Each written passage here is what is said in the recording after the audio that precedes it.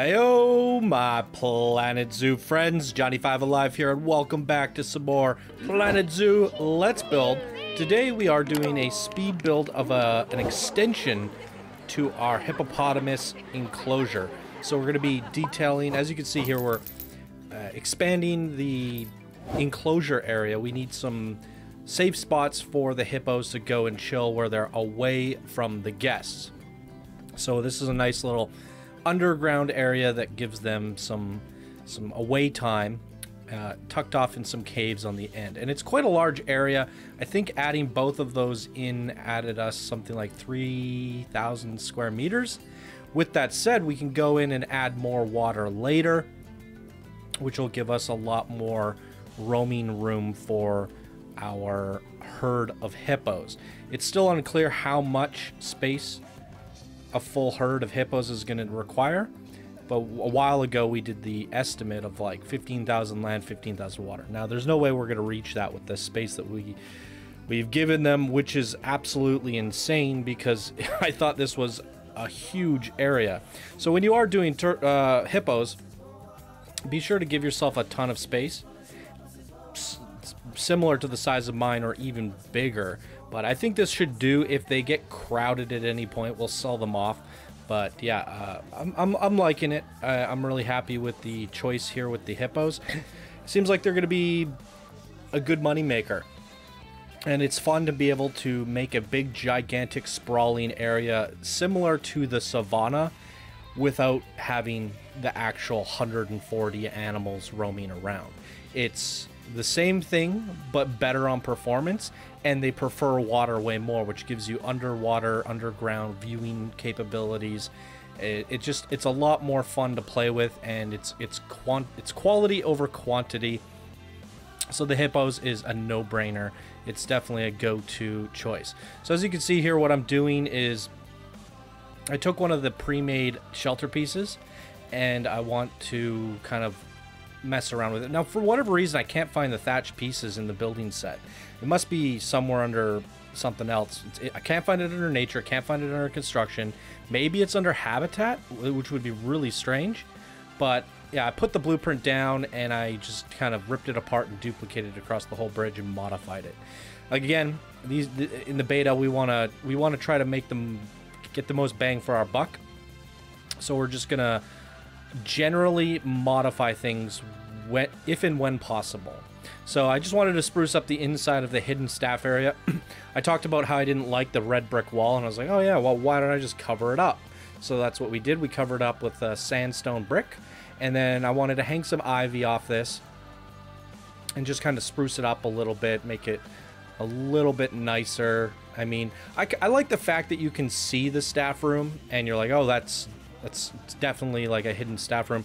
I don't think every staff room needs to be completely hidden, but it's enough there to suggest like, hey, this is where the staff are coming in and out.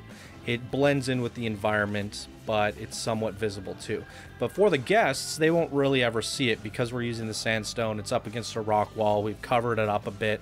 It's directly underneath the bridge or really far away from the viewing paths they won't see it, they won't be bothered by it, and it's pretty freaking incognito.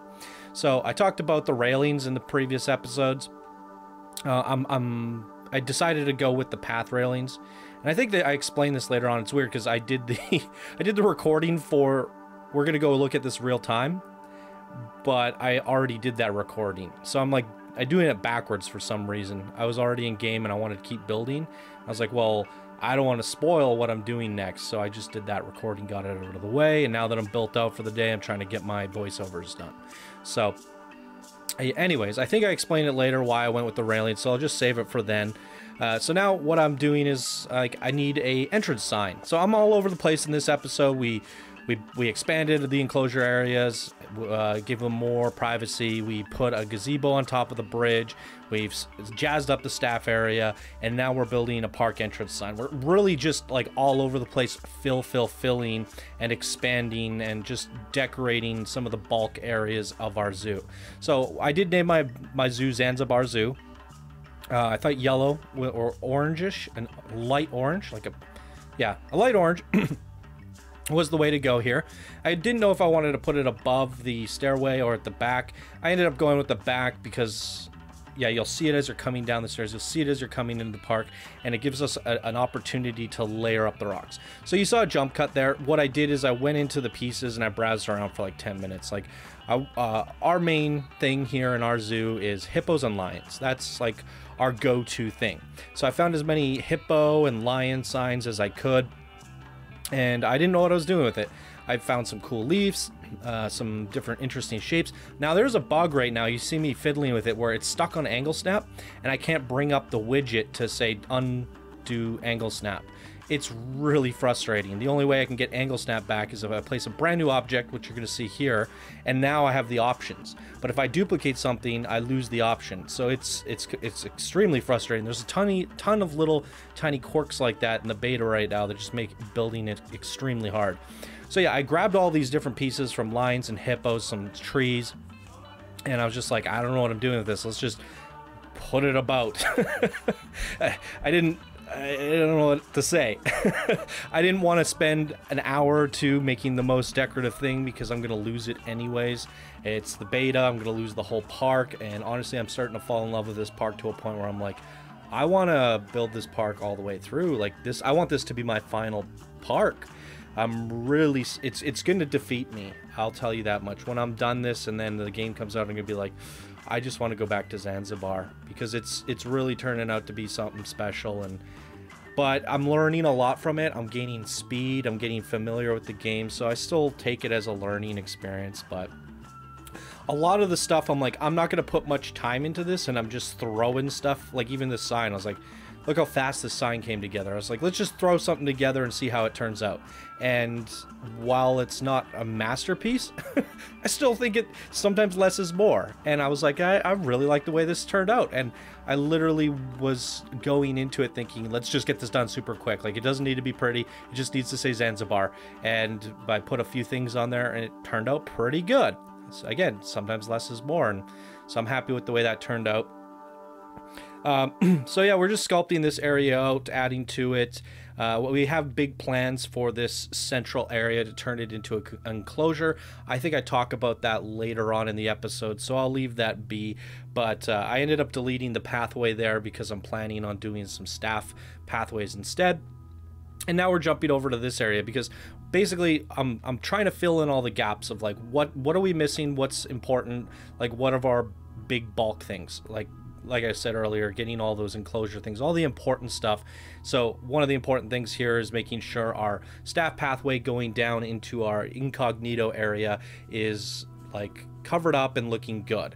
And as I'm doing this rock work, I eventually go into a building spree and I'm like, okay, well, why don't we just decorate this whole area? I mean, might as well make it look pretty while we're at it. Like I had plans to do that, and that's part of it's this is another mini project within the project itself. So you know there's it, it's a quite a large one too. It's a big open area. So i was looking at wix's shop here and i actually looked at the back side of it and stuff. It had too much detail in the back. We're just going to be hiding the stuff in the back anyways. So I, I wanted to just stuff something in there that looked good and it wouldn't work. So you know i was like okay well why don't I build something? And my plan here was to take the default staff buildings and just kind of wedge them in and, and then cover it up with stuff like, you know, bushes, trees, and just kind of uh, mash it all in there and then just disguise it all. Now, for whatever reason, even though the path we have more, I even tried flattening it out. We have more than enough space to be able to build something in there but the game's just not letting me. Super frustrating. I know, like, in Planet Coaster, there's, like, a thing called no collision. I've turned all those checkboxes on in this game, and it's still not working for me. Uh, I hope on release we have all the checkboxes to do no collision so we can just mash things together, mash things into pathways if we want to. I, I feel like we need to have that creative freedom, but nothing was working out for me. So I was like, okay, screw it. You know what? We're just going to build it back a bit and you know wedge stuff in and i couldn't even get the building there and i was like this is so frustrating so the we have the back buildings as far back as we can go. The side buildings as far back as we can go. And they're just bathrooms right now, and I'm just gonna rip out the bathrooms, put in different shops, and decorate it. So again, I don't want to spend too much time on shops because it is the beta, and yeah, I, I, I could put Chief Beef signs on things and you know hang a bunch of ivy off them and put some nice trim on them or whatever. It's something you're just gonna pass by and be like, cool shop. it's it's really like a small thing in the overall picture. So it's it's allowing me to get on with life a little bit faster and just get her done. So yeah, that that's what we get. We have four shops in there. One's a, I think I go into it later, so you'll see later what they are, because I, I, can't really remember right now. So I'm trying to. The trees are really frustrating. Um, there's not a lot of big bushy bushes. You have to find the right tree and just sink it into the ground and pretend that that's a bush. And then a lot of the trees are either way too big or way too small. Uh, so I'm still not familiar with the foliage in this game but we're getting there. And honestly, like I don't know what goes together. Like these white rose bushes, I'm like, sure. And I, I don't even some of those trees are probably from different parts of the world. I don't I don't know if they're supposed to be together, but they look good, so that's all that matters to me. I, I was going for a vibrant, lush look because we have a lot of red rock, we have a lot of stone, uh, we have big open areas with like sand and and uh, dirt. Uh, so I want the the surrounding areas to pop. So that's what this whole central area is about. And I put these little planters in, and we're going to cover it in flowers and, and just mess around. So I, I'm just, I don't really have any rhyme or reason to what I'm doing. I'm just filling, and I'm like, sure, this will work. Just trying to get it done. And like I said, the, the less is more attitude. Just go, go, go, go, go, fill, fill, fill, fill, fill. And uh, hopefully it turns out looking good. So I have this like rush mentality right now. And with that rush mentality, I'm actually producing a lot of stuff that I'm happy with. so I'm like, maybe I need to start thinking like this on release because sometimes you fiddle with something for so long just trying to perfect it when if, you know, like spending seven hours on a shop just so it'd be placed and maybe just using a default shop would allow you to move on to other things and just, you know, it's about broader strokes rather than micro details. And I, am finding that that works out for me. Um, so this last bit of the speed build, I started doing the educational speakers, and it's included in the speed build here. And then I'm like, nobody wants to see this. but I did make a little post, and I started playing around with the volumes and stuff, and it and it turned out pretty good. But I'm just gonna end off the speed build here because there's just a few more seconds of this and I, I end up cutting it. And we'll just jump into the park and give a tour of all of our new builds. Boom! Let's do it! Alrighty, so here we are in game, everybody. Zanzibar Zoo. There's a look at our park sign. I mean, I did put a whole lot of time into it, but I like the simplicity of it and I like the way it turned out. Our main focus for this park is the hippopotamus and the lions. So obviously we want those up front and center. I don't know if we're going to end up having buffalo, but I like the way they look in there. I got a bunch of colors. This the tiger the Indian style tiger centerpiece is biting the sign. Quite like the way that turned out. And uh, so I decided I would go with the railed pathway rather than building a barrier. And the reason I decided that was actually my mind was made up for me because if you put the barrier close to the path, for whatever reason, when you go to add another path to it, it goes red. Whenever there's a barrier too close to a path, it seems to bug out the pathway. So I was like, oh yeah, I forgot about that. So we're just gonna have to go with that. Now, for our education, we have a limited power supply. Our power being down there and down here.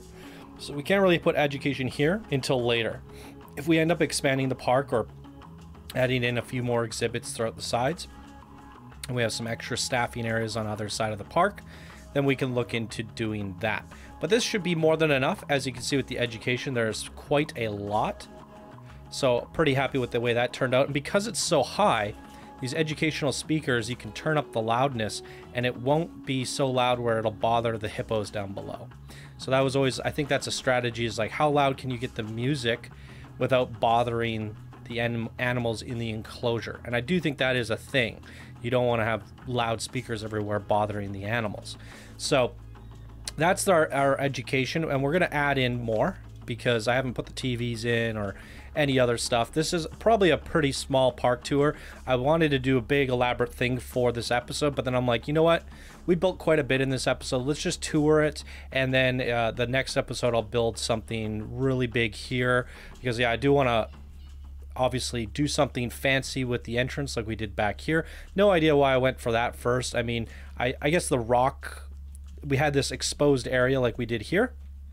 And as soon as I put the rocks down, I was like, let's do something else over there. So we'll go check that out in a sec, but I just want to show you these little huts that we put in. You would have saw that in speed build. This is a pre-made blueprint that I just modified and ripped apart. I figured, you know, we don't have a whole lot of enclosure area for our hippos to get privacy. So, and I don't know how much they really need, to be honest. When I did a test tester in my previous zoo, um, I didn't really have a whole lot of enclosure space and they were okay with it. But they have a big cave, which we can jazz up a little bit, and then we'll put their beds and stuff in here. That's pretty big, and having one on either side is pretty awesome. Oh, the game is freaking out. Yeah, so one on either side. That should keep them happy. They could also kind of hide underneath this big fat bridge here, so that's a thing. And if we need more, we could just put a few huts around. There's tons of open space. So, yep, there we go. And then we got the gazebo, the modified gazebo with some educational speakers. The viewing area is quite awesome from up here. Nice and high, you gotta see the whole thing. We'll put plenty of uh, donation bins throughout the sides here. Some TVs and stuff. And then this is uh, a fully realized detailed area over here. And uh, also another eating area. So we come through here and it's a magical little garden. So, didn't cust... I, I, I might have mentioned this. I'm doing this recording before the actual speed build recording, so I'm not sure what I ended up mentioning. But uh, I did really want to get the buildings underneath the pathway, but uh, game was just bugging out and not letting me do that. So, because of that, I wanted to jam it in and integrate it into the paths. And then I just put these houses up front. Uh, they, they turned out looking pretty good, though. But we have a uh, what is this? A gulp? No, this is information. So umbrellas and things. Mexalente, bathrooms, and water. So there you go. Some seating areas.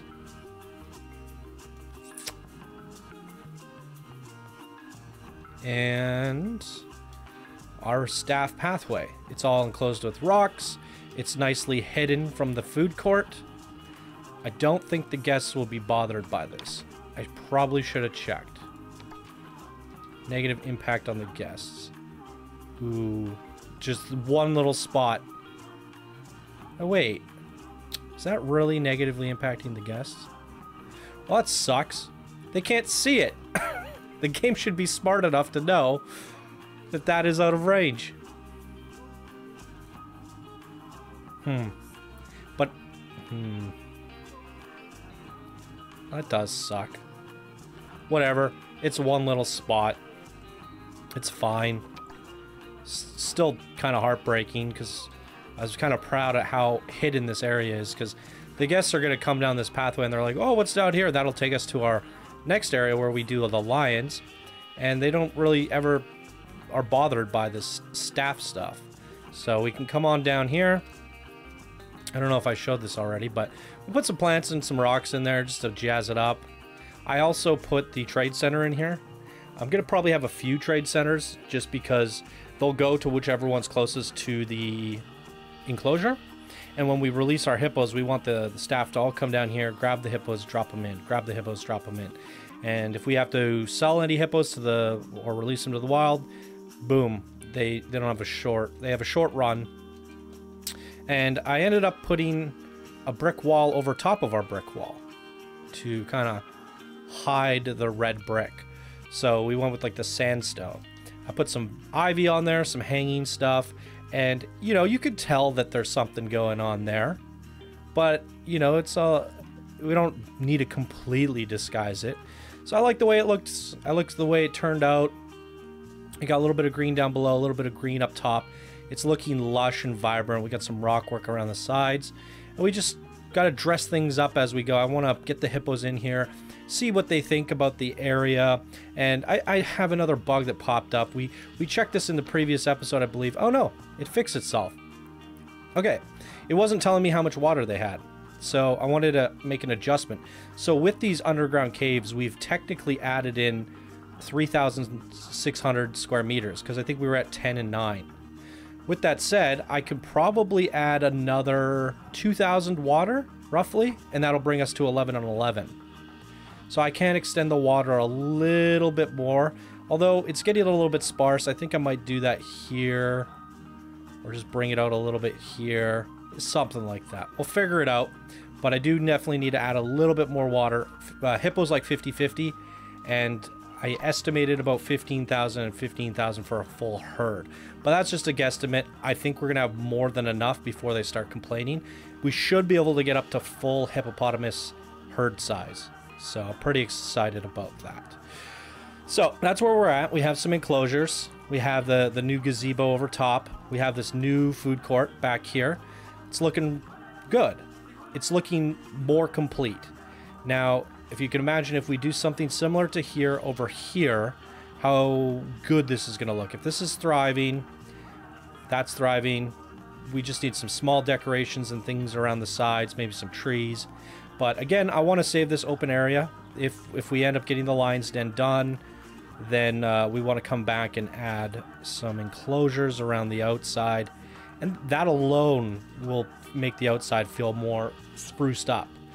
But I'm not really sure what to do around the rock barrier outside. I don't want to just put too many plants. So I might make like a plant cluster in a tree and just like duplicate that every so often and just kind of spread it out. That way we'll have like a few decoration points throughout this long walk and that should be good. So that that's my hopes to, to, go into the next episode, which I haven't done yet, obviously, because you're looking at the one save file I have available. But my focus for the next video is going to be this area. And looking at the Zoopedia, our we want I really wanted to get the turtles back in, the tortoises. Now, I was looking on Google. It said that all tortoises are turtles but not all turtles are tortoises or something. but basically, tortoises are in the species of turtles, I guess. However, some turtles like water and tortoises don't. But the definition of a turtle is like a shelled creature, which is technically a tortoise too. Anyways, lots of people commenting about the freaking turtle over the or the tortoise is a turtle, not a turtle. I don't know. Anyways, what do I know? look, let's let's get into it. Turtles need 230 square meters. They uh, don't want water, but a lot of animals don't have a preference of water. And if you give them water, they will use it. And I thought the tortoises would have, but they're they're a dry land animal that like a lot of enclosure space, and uh, they like to be covered up the, the bachelor size will get one male and three females. And then uh, looking at something similar, I try to find something similar and look like the Nile monitor is similar. They like one male and two females. Their space is uh, roughly 300 square meters plus 75 water. So a little bit bigger than what the tortoises want and uh, small, a, a, small size. So that's kind of like a perfect balance. They're not going to be for breeding. They're not going to be making like, yeah, they're not going to be made for conservation points or anything. They're just there for the guests to view. And with that said, this area here, if we combined some turtle area, some Nile monitor area, a little pond in the middle for the, the, the, monitors, that should be a sufficient amount of space for both of them. We can stick staff area back here, try to cover it up, do some rock work and bushes back here, make it kind of similar to what we have over there. And that should be good. I had this vision, it would be cool if we had like a waterfall going down into a stream. That stream went into the Nile monitor area. That'd be neat. But at the same time, I like the look of the gazebo there, so we'll see what I end up coming up with. But we're definitely gonna have to jam a staff path like a four meter one takes us back there and then we'll have like a little keeper hut and I got to try to get that keeper hut in such a way where it doesn't have a negative impact on the guests so we should have a and we have a staff room down there a large one so if they really want to break they should be able to go downstairs I don't know if that's too much of a walk for them. It doesn't seem like a long walk. So that should be fine. And if we really need to, we could put another trade center, a workshop, or a research center. Yeah, I didn't put a research center over there, which I regret. But we don't really need one. We fully researched our hippos. So yeah, we're probably going to want a research center here because the researchers need to go investigate the, the area and then they, they come back in with their whatever they discovered and they go back to the research center. And when we put these animals down, we will not have research for them. So probably a keeper hut, a research hut, maybe even our workshop. So whatever buildings we have over here, a small staff room, whatever, we'll just kind of fill this back area up with three or four staff buildings, try to enclose them, try to hide them, and integrate it into the scenery and build out two little enclosures. Now, the, the guest, guests will be able to view the enclosures from here, but for also technically from up here.